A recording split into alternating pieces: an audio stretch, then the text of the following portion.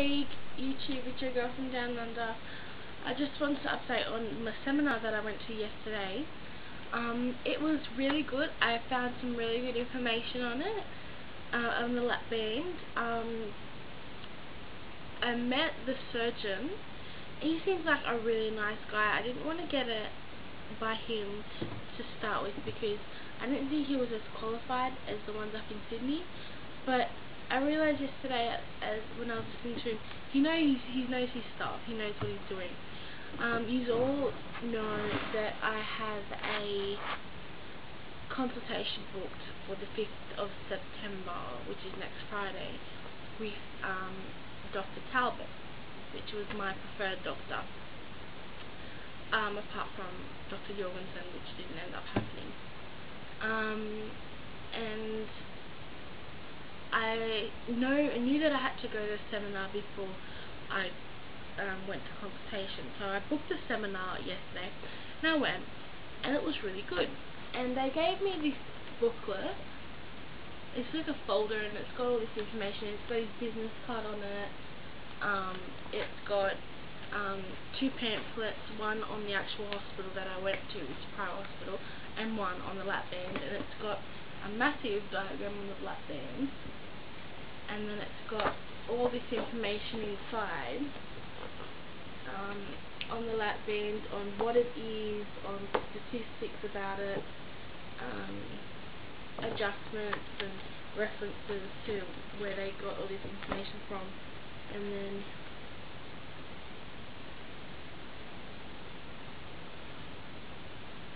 just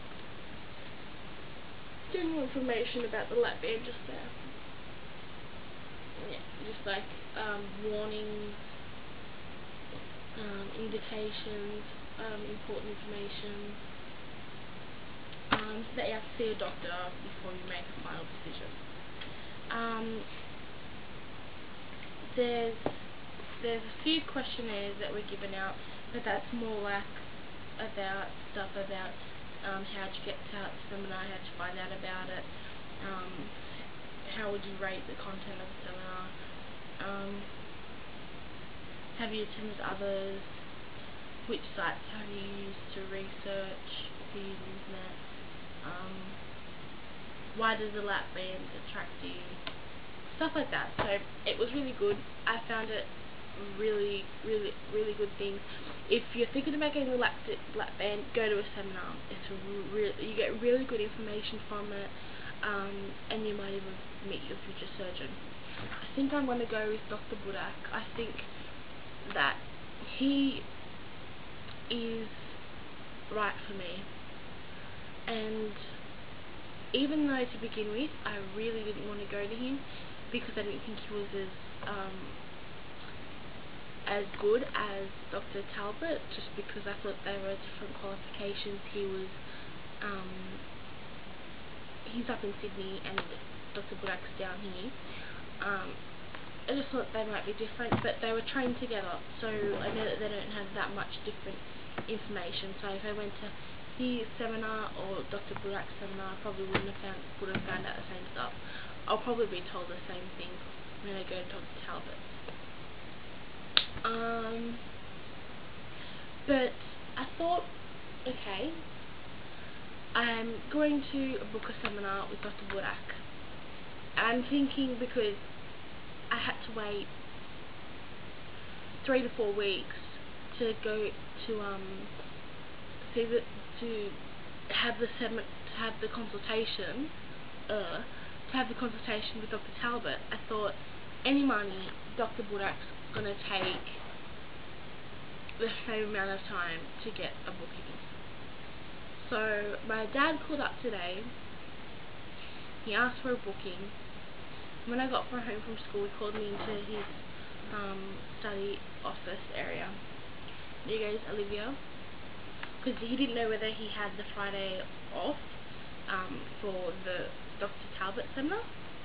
Goes Olivia. I got your flight the Friday the 5th off. Um, so we can go to that consultation, which is Friday at 2 o'clock. And your consultation with Dr. Budak is on the 2nd of September. I was like, what? 2nd of September? I thought it was going to be like 22nd of September. He's like, no, it's on the 2nd of September. I'm like, wow. If it's that quick to get a consultation with him, how quick is it going to be to get a surgery date? Oh my god, I was, I was over the moon. I was so happy. I went to work happy. I had a really good time at work. I work in the kitchen. Um, I'm a caterer's assistant. And I also work at Woolworths. Um, but I was so happy, uh, had a good time at work, was really, um, I'm really excited. I'm really excited about um, going to the consultation. It's a day after Harriet gets her lap band. So excited for you, sweetie. Um, uh, the day after Harriet gets her lap band, so I'll be talking to her about that. Um, and then I've got the other one three days after. So I really, I just cannot wait to have this ball rolling, have my surgery date, and then you have to wait till I get um, the surgery done, and then I can start my road to weight loss. Um, I'm hoping to get down to, I know it's probably wishful thinking, but I'm going to try my hardest. I'm going to, I've got the personal trainer as I told you in the previous video. Um, I'm going to try to get down to at least 70 kilos, around 70 kilos or 65 kilos. And if my calculations are right, that's about a loss of 70 kilos. So, that's, yeah, that's a loss of 65 kilos. So that's a lot of weight to lose, and I, I'm I'm really excited about doing this. About can't wait to have energy. I can't wait to be able to run, be able to walk long distances without feeling out of breath. I just really can't wait.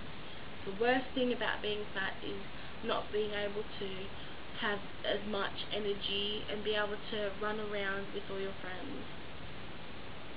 Um, I'm going to just quick shout out to Harriet, quick shout out to the City Doll, stay strong girl, you know that he's not worth it if he's blowing you off.